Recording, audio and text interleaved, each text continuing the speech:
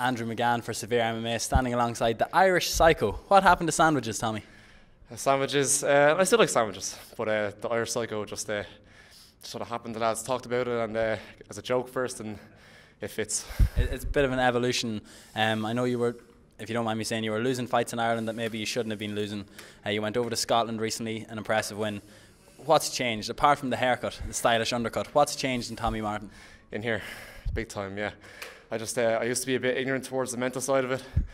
Used, people used to say like Conor years ago were saying it's 90% mental and 10% physical. I thought, oh, fuck that, I'm training my body in day in day out. How could it be? But over time, like you know, I just uh, I just learned and you know every every loss, you know, unless you if you quit there, then you, then you really lose. But if you learn from it and you keep going, that, that's a winner. And uh, that's changed big time. And that's I know it up here now.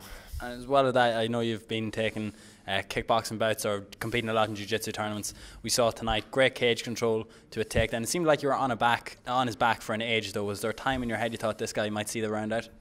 Uh, I was a little bit, and I was kind of rushing at the start. Um, it's just it's just normal to do that and uh, calm down a bit. I felt his his body he was calming down too, so I calmed down with him, and then I just felt the true, and eventually I sunk it in. But uh, not everyone's as tough as you. I can't survive that choke. Well, I, I wouldn't say that choke. I your body triangle. Yeah. You know, I know you had him in a body triangle. Yeah. Unfortunately, I've uh, experienced that. It feels like your ribs are on the way out. But you, it also with the rear naked choke, it looked like you were cranking his face at one time. He just didn't want to give it up. Um, from our point of view, all I saw was him go limp.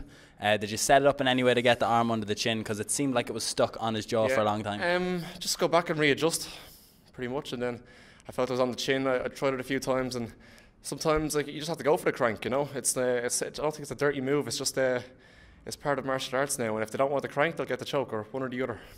As I said, the the change around you, you're fighting a lot more actively. I know you're training as much, if not more. Um, what's the plan now? Any more fights before the end of the year? I know we've battle zone towards the end of November. I'm not sure if I saw your name on that. I'm on that, yeah. Um, and then Cage Warriors New Year's Eve. Possibly, we'll see. As long as I don't have to cut the featherweight. What, what's the big deal with featherweight? Is that something maybe looking towards a pro or stay at 70? I don't like cutting weight in general. And um, what I'm actually trying to do is I'm trying to to change it altogether to, to get the change the system. Because like tonight, this fight tonight was booked at featherweight. We both we all walk around the same way. I knew it. I said to John, look, I bet this guy walks around the same way as me. He contacted his, his coach and all, and it turns out we are. So it's like, what, what's the point in cutting all that weight down to 66? We could just fight at 70, and and it's an easier weight cut for us, and nobody else cares about it. No, the coaches don't care, the fans don't care, and it all it does it benefits us, you know. But we don't want to cut weight, and like we're just cutting the same shit down. Like it makes no sense at all. So I'm just trying to like restructure it and like get it back to like we, we do this because it's fun. No one says we want to do this because we want to cut weight.